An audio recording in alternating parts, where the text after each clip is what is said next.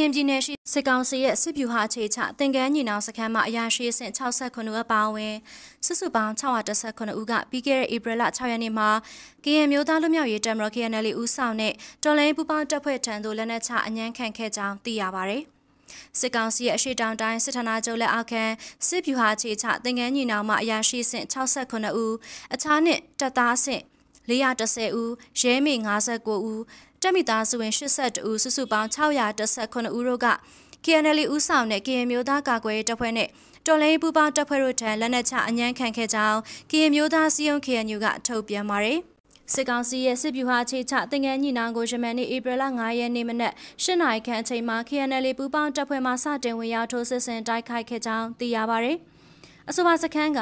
1968ခုနှစ်မှစတင်၍နှစ်ပေါင်း90ခန့်ကြာအခြေချတပ်ဆွဲထားတဲ့စစ်ကောင်စီတပ်စခန်းတစ်ခုဖြစ်ပြီးလက်နက်ချအញ្ញံခံပြီးနောက်တပ်စခန်းအတွင်းမှလက်နက်ကြီးလက်နက်ငယ်များနဲ့ခဲယမ်းမြောင်များစွာကိုသိမ်းပိုက်ရရှိခဲ့ကြောင်းသိရပါဗျ။အဆိုပါစစ်ဗျူဟာအခြေချစခန်းကိုသိမ်းပိုက်ရခြင်းမှာနယ်မြေတွင်းနေထိုင်ကြတဲ့ကင်လူမျိုးများနဲ့ အခြားလူမျိုးများရဲ့စီးပွားရေးပညာရေးလူမှုရေးများကိုထိခိုက်ကြဆင်းစေတဲ့အပြင်ရိုးရာရင်ကျေးမှုများလည်းပျက်စီးပြောက်ကွယ်စေခဲ့တဲ့အတွက်ကြောင့်စခန်းကိုသိမ်းယူရခြင်းဖြစ်ကြောင်း KNU ကထုတ်ပြန်ပါတယ်။အထူးသဖြင့်အကြောက်တရားနဲ့နေထိုင်ရတဲ့လူသားများရဲ့ဘဝလုံခြုံမှုကင်းမဲ့ရခြင်းကိုဖြစ်ပေါ်စေခဲ့ခြင်းကြောင့်စခန်းကိုသိမ်းယူရခြင်းဖြစ်တယ်လို့ဆိုပါတယ်။ ရက်ထဲမှာပဲခမရနှစ်ခွန်ငါမှစစ်ကောင်စီရဲ့အင်အား200ကျော်ကလည်း KNL ပူပေါင်းတပ်ဖွဲ့ထံလက်နက်ချအញ្ញံခံခဲ့ကြောင်းသိရှိရတော့လေ ERD Time သတင်းဌာနအနေနဲ့ဆက်လက်စုံစမ်းလျက်ရှိနေသေးပါ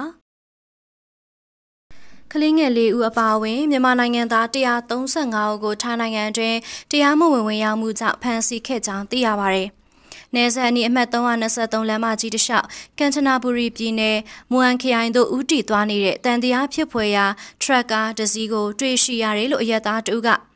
တောက်ကြနေညနေ9နာရီခန့်မှာရဲကိုသတင်းပို့ခဲ့တာပါ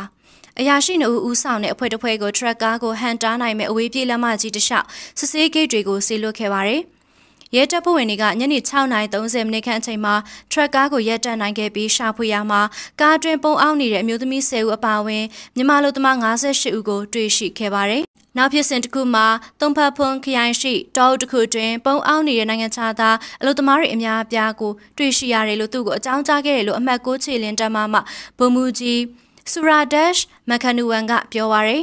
သူကဒေသန္တရအာနာပိုင်တွေလက်တွဲပြီးတော့ဒေသရင်းရှာဖွေခရမှာကလေးငယ်လေးဦးအပါအဝင်တောအုပ်တဲပုံအောင်နေတဲ့မြန်မာနိုင်ငံသား89ဦးကိုတွေ့ရှိခဲ့ပါတယ်။မြန်မာနိုင်ငံသားတွေဟာစစ်ဘေးသင့်မြန်မာနိုင်ငံကနေထွက်ပြေးလာခဲ့ကြောင်းရဲတပ်ဖွဲ့ရဲ့စစ်ဆေးဂိတ်တွေကိုရှောင်ရှားဖို့နေဆက်တော်လန်တစ်ခုကိုအသုံးပြုခဲ့ပြီးကန်ချနာဘူရီပြည်နယ်ဆောင်းကလာဘူရီခရိုင်သို့တွားရောက်ခဲ့တယ်လို့ဘာသာပြန်တူမှတဆင့်ရဲတပ်ဖွဲ့ကိုပြောပါရယ်။